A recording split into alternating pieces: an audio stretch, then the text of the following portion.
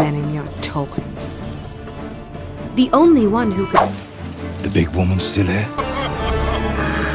Yeah, come!